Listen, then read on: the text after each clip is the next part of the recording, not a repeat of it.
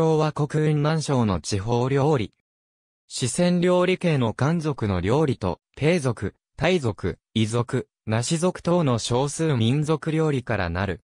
雲南省の漢族の料理は、中国の八大料理のうちの四川料理に属し、唐辛子を多用するものが多いが、木鍋取りと呼ばれるスープ料理のように、あっさりした味付けの料理もある。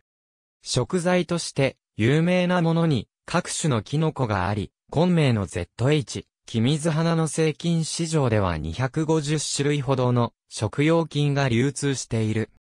代表的な品種として、ZH、関東萌菌、菌、牛肝菌、ZH、レアオ、羊腹菌、青菌などがあり、近年は日本の影響で松茸なども刺身で食べられる。